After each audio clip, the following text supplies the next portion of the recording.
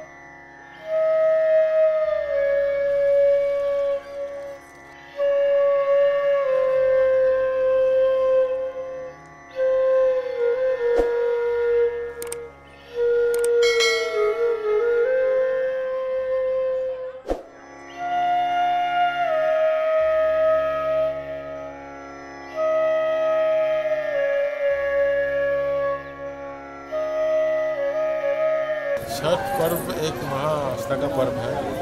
उगते हुए सूरज को और डूबते हुए सूरज को जल दिया जाता है। इसमें जितना भी छठ व्रती है, चौबीसों घंटा का उपवास करती है और इसमें उनका कल इन लोग जलपान ग्रहण करेंगे।